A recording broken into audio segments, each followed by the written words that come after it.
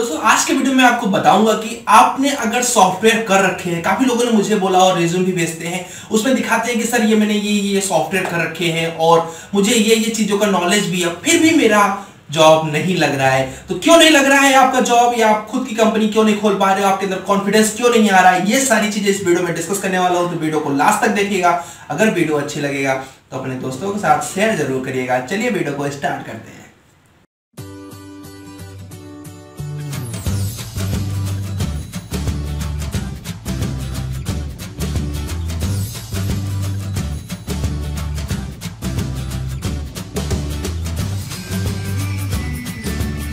Hello friends once again welcome back in my tutorial दोस्तों, मैं हूँ आकाश पांडे और आप देख रहे हैं यूनिक सिविल यानी मेक योरसेल्फ यूनिक दोस्तों, आप सब कई जगहों पे अप्लाई कर रहे हैं। कुछ लोगों ने मेरे पास भी अप्लाई किया और ताजुब की बात तो ये थी, जब मैंने उनके देखे कि स्किल स्किल्स जो है मीन्स ढेर सारे सॉफ्टवेयर उनको पता है। यानी उनको ऑटो कैड भी पता है गूगल स्केचअप भी पता है, कुछ लोगों को ई पता है, कुछ लोगों को स्टैट्रो पता है और उसके बाद भी उनकी सीवी शॉर्टलिस्ट नहीं हो रही है। मैं थोड़ी देर सोचता रहा कि यार, इनके पास तो आठ आठ स्किल है सात सात स्किल है, और एक स्किल में जॉब लग जाती है। ऐसा क्यों हो रहा है कि इतने स्किल्स लेने के बाद भी उन्होंने जॉब नहीं पाया? तो फिर मेरे पास, मैं थोड़ा सोचा उसके बारे में तो मैंने सोचा कि क्यों ना एक वीडियो बना के आपको बताता हूँ। आपने जो मुझे ढेर सारे अप्लाई किए थे जॉब के लिए, उसके बाद अब मेरा क्या रिज़ल्ट है? मैं क्यों किसको नहीं कर पाया? एक दो लोग जो भी सिलेक्ट हुए, उनको पता है। लेकिन बाकी लोग सिलेक्ट क्यों नहीं हुए ये समझने की ज़रूरत है। देखो यार ओपनिंग्स तो हर जगह पे है। अभी मेरे पास प्रयागराज की ओपनिंग है। तो जितने बच्चे अगर प्रयागराज के नीचे कमेंट करना और अपना मोबाइल नंबर डाल देना और अगर आ, क्या बोलते हैं मुझे आपकी प्रोफ़ाइल अच्छी लगेगी मैं आपका रिज्यूम मंगवा लूँगा। आपका प्रोफ़ाइल अगर अच्छी लगे वैसे तो मेरी ईमेल आईडी आप डिस्क्रिप्शन बॉक्स में लेके आप वहाँ पे मेल भी कर सकते हो। अगर आपकी प्रोफ़ाइल अच्छी लगी तो डेफिनेटली मैं आपको प्रयागराज वाले जो है उनके लिए अच्छा रहेगा क्योंकि लोकल है तो वहाँ से आप जल्दी जल्दी से जल्दी सेलेक्ट हो सकते हो। तो ओपनिंग है मार्केट में, ऐसा नहीं है ओपनिंग नहीं है। क्योंकि अभी ना जैसे कि अभी सिविल इंजीनियर है, वो हर एक काम कर ले रहा है। वो इंटीरियर भी कर रहा है एक्सटीरियर भी कर रहा है स्ट्रक्चर भी कर रहा है बीआईएम भी कर रहा है। और उसके साथ साथ कुछ तो सिविल इंजीनियर ऐसे हैं जो कंटेंट राइटिंग लिख रहे हैं। कुछ सिविल इंजीनियर ऐसे हैं जो मेरे से जैसे हैं, जो यूट्यूबर भी हैं। तो तरह तरह के अलग अलग प्लेटफॉर्म से आप इनकम कर सकते हो। ऐसा कुछ नहीं कि सिविल का एक लोगो लगा लिया मीन सिविल का ही काम कर लो सिविल प्लस आईटी मिक्स करके आप काम को कर सकते हो। आपको समझना है कि मैंने इतने सॉफ्टवेयर सीख रखे इसके बाद भी मेरी सीवी शॉर्टलिस्ट क्यों नहीं हो रही है? सीवी इसलिए शॉर्टलिस्ट नहीं हो रही है दोस्तों, क्योंकि आपने जब जॉब के लिए अप्लाई किया तो ये नहीं देखा कि कौन सी पोजीशन के लिए आप अप्लाई कर रहे हो। यानी अगर वो स्ट्रक्चर की पोजीशन थी तो फिर आपको रेबिट और स्केचअप मींस रेविट आर्किटेक्चर और स्केचअप और थ्री मैक्स आर्ची कैट ये सॉफ्टवेयर लिखने की क्या ज़रूरत थी? क्योंकि आपको सबको पता है कि अगर आपके पास मल्टीपल स्किल है तो मीन्स आप सब में परफेक्ट नहीं हो। आप बोलोगे, सर, ऐसा नहीं हो सकता हो। सकते हम परफेक्ट हो, बिल्कुल हो सकते हो। बट सामने वाले को आप एज अ फ्रेशर दिखाई दे रहे हो। फ्रेशर लड़के के पास अगर 10 सॉफ्टवेयर का नॉलेज है, मुझे नहीं लगता, क्योंकि अब जाके हम लोग को 13 सॉफ्टवेयर आया है। इतने दिन के बाद, पाँच साल हो गया मुझे इस इंडस्ट्री में। तो ऐसा नहीं है कि आप प्रेशर लेवल पे इतने सॉफ्टवेयर सीख सकते हो। आप देखो कि स्ट्रक्चर की ओपनिंग है तो आप वहाँ पे ऑटो कैड लगा दो स्टैट प्रो ई टैब्स आपको रिक्वायरमेंट के हिसाब से अपनी सीवी को सेट करना पड़ेगा। ऐसे सॉफ्टवेयर मत डालो जिनका कोई भी यूज़ नहीं है सामने वाली रिक्वायरमेंट्स कंपनी में। और साथ ही साथ दूसरी चीज़, चलो आपने सॉफ्टवेयर डाल दिया, चलो कोई इग्नोर कर दिया। दूसरी चीज़ आपको देखना है कि क्या मुझे सच में वो सॉफ्टवेयर आता है? मैंने आपको बताया था कि ऑटो कैड इतना अगर आपको आता है तो समझ जाना। आई बटन पे एक वीडियो लगाया, उसमें देख लेना। आपको पता चल जाएगा कि आपको कितना ऑटो कैड आता है। ज़रूरी ये है कि ऑटो कैड लिखने से पहले आप ऑटो कैड की हर एक चीज़ को प्रिपेयर कर लो। उसके बाद, अब मैं बात करूँगा दूसरे software like STAAD Pro STAAD Pro के लिए मैंने बताया था कि स्टैट प्रो में आपको कितनी चीज़ें आपको आती है, आप चेक कर लेना, उसके लिए मैंने वीडियो बनाया हुआ है। ई उसके लिए भी आपको चेक करना पड़ेगा कि मुझे कितनी चीज़ें आती है और कितने अच्छे तरीके से आती हैं। क्या होता है? अभी हम लोग क्या करते हैं? हम लोग सॉफ्टवेयर तो सीख लेते हैं बट हमको वो चीज़ें अच्छे से नहीं आती। है अगर स्टैट आपने सीखा तो आप मैनुअल डिज़ाइन क्यों नहीं कर पा रहे हो? स्टैट सीखा है तो बिल्डिंग का डिज़ाइन स्टैट प्रो में क्यों नहीं कर पा रहे हो? ई टैप सीखा है तो ई टैप की डिज़ाइन सॉरी स्ट्रक्चर की डिज़ाइन ई टैप में क्यों नहीं कर पा रहे हो? सर वो मैंने नहीं सीखा। मैंने सीखा है ई टैप कैसे चलाते हैं। भैया ई टैप चलाना अगर सीखना होता तो हाई स्कूल वाले बच्चे को हम लोग हायर कर लेते ना।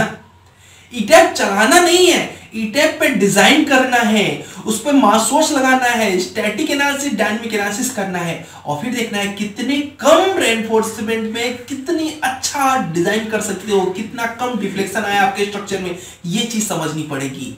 मतलब ये है कि हमारे पास क्वांटिटी है बट क्वालिटी नहीं है।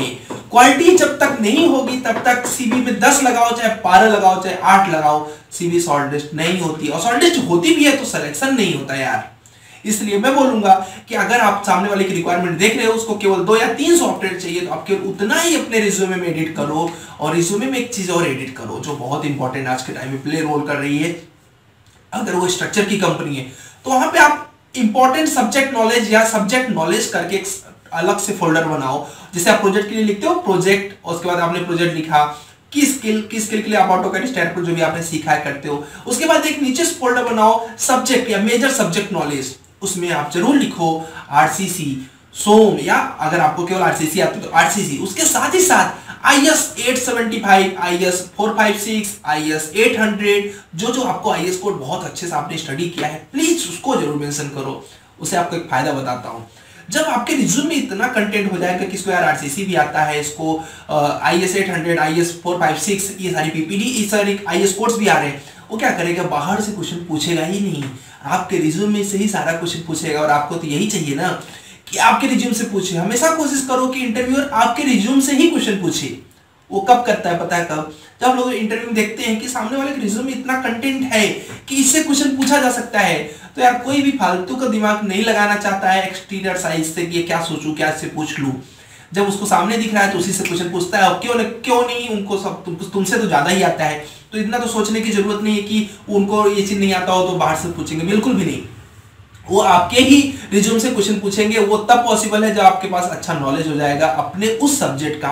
तो प्लीज़ सब्जेक्ट का नाम ज़रूर लिखो और सॉफ्टवेयर का भी नाम ज़रूर लिखो क्योंकि जो सॉफ्टवेयर आपको आ रहा है कितने लेवल पे आ रहा है वो बहुत इंपॉर्टेंट है।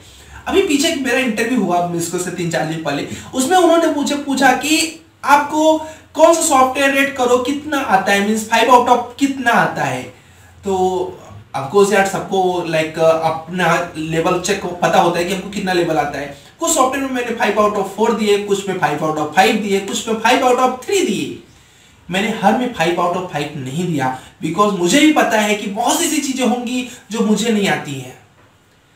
मैं एक सॉफ्टवेयर है कैटिया कैटिया के जो ऑनर थे, उन्होंने बोला कि जो, जिन्होंने कैटिया सॉफ्टवेयर को बनाया उन्होंने बोला कि मुझे कैटिया केवल और केवल 80 परसेंट आता है मुझे 20 परसेंट एक्स्ट्रा जो है वो मुझे खुद भी नहीं आता है। उन्होंने कैटिया सॉफ्टवेयर को बनाया और उनको ही 20 परसेंट नहीं आ रहा है मीन्स वो भी परफेक्ट नहीं है कैटिया सॉफ्टवेयर में। उन्होंने बोला, हमारी टीम थी तो कुछ मॉड्यूल टीम ने डिज़ाइन किया है तो शायद वो मुझे चीज़ें नहीं आ रही थी, इसलिए मैं एक्सेप्ट करता हूँ कि उनको केवल 80 परसेंट आता है। तो सोचिए, जब उनको 80 परसेंट आ रहा है तो no one is perfect like पूरा है बट आप क्रिकेट खेलने जा रहे हो तो आपको इतना तो ज़रूर आना चाहिए कि क्रिकेट में कैसे आपको बैट को चलाना है, कैसे आपको कैच लेना है, कैसे आपको विकेट कीपिंग करना है, कैसे आपको बॉलिंग करना है, ये सारी चीज़ें तो आपको आनी पड़ेगी ना। इन द सेंस कि अगर आप प्रोजेक्ट कर रहे हो तो प्रोजेक्ट के लिए आपको कौन कौन सी चीज़ आनी चाहिए? प्रोजेक्ट को एनालिसिस कैसे करते हैं? प्रोजेक्ट को डिज़ाइन कैसे करते हैं? इसमें लोड कैसे लगाते हैं? फैक्टर कैसे लगाते हैं? तो प्लीज़ मेरा कहना सिर्फ़ इतना है कि आप जितने सॉफ्टवेयर लगा रहे हो, इतने सॉफ्टवेयर में से जो सॉफ्टवेयर आपको लगता है कि मुझे ज़्यादा अच्छे से नहीं आता, उनको निकाल दो। और मेजर सब्जेक्ट नॉलेज हर किसी का कॉलेज में कोई ना कोई रहता है। और सबसे ज़्यादा इंपॉर्टेंट मैं एक और क्वेश्चन आपको डिस्कस करना चाहूँगा। जब जब कोई इंटरव्यूअर पूछता है कि which one is your favourite subject तो कंपनी रहती है बिल्डिंग स्ट्रक्चर की और आप बोल देते हो ट्रांसपोर्टेशन और सामने वाला जो इंजीनियर है, उसको ट्रांसपोर्टेशन का एबीसी नहीं आता है। तो डेफिनेटली वो ट्रांसपोर्टेशन के बारे में तो पूछने से रहा। अब क्या होता है, वो अपने हिसाब से टॉपिक पूछेगा। भाई साहब, जिस चीज़ की कंपनी है, उससे रिलेटेड ही मेजर सब्जेक्ट नॉलेज अपना डालो। हर कंपनी के लिए अलग तरीके से रिज्यूमे बनाना पड़ेगा। अगर आप सोच रहे हो, एक रिज्यूमे हमें हर जगह कॉपी पेस्ट कर रहा हूँ बिलीव करो, वो अच्छा नहीं होता है। अगर वो ब्रिटिश इंडियन ब्रिटिश कोड से वो डिज़ाइन करते हैं तो आपको वहाँ पे मेजर सब्जेक्ट नॉलेज अपना ब्रिटिश कोड लिखना पड़ेगा। तभी आपकी सीवी शॉर्ट लिस्ट होने का चांस 80 परसेंट टू 90 परसेंट हो जाएगा। वीडियोस मेरे कैसे लगे आपको? ये सजेशन जो भी है, अगर आपको अच्छे लगते हैं, ये सारे सजेशन जो भी इनर साइड के सजेशन है, मैं आप तक ले आने की कोशिश करता हूँ। और ये बहुत ज़रूरी है, क्योंकि आज के टाइम में ये सारी चीज़ें लोगों को नहीं बताई जा रही है। जो ही बता रहे हैं, वो इतना ज़्यादा फ़ी ले रहे हैं कि आप तक को पहुंचाना पॉसिबल नहीं होता।